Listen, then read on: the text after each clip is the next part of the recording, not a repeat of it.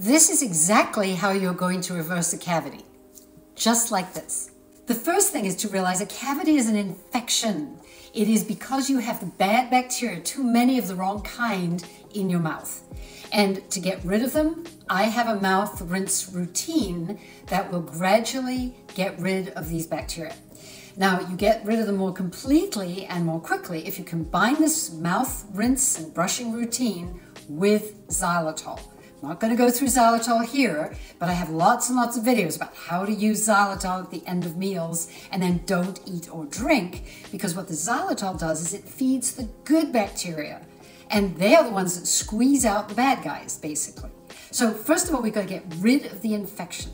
And that's really important. And it takes about six months. If you're using everything and all my strategies, it may take you less time. But you've got to allow six months for the infection to go away.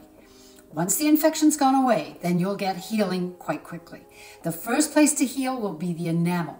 The actually enamel crystals grow on existing enamel crystals until they will close over and seal the food supply that might be feeding the bacteria underneath. You'll hear dentists say you can't heal a cavity in dentin. That's because they don't get rid of the bacteria first. I'm telling you, it's six months to get rid of the bacteria. The enamel will close over and form a seal.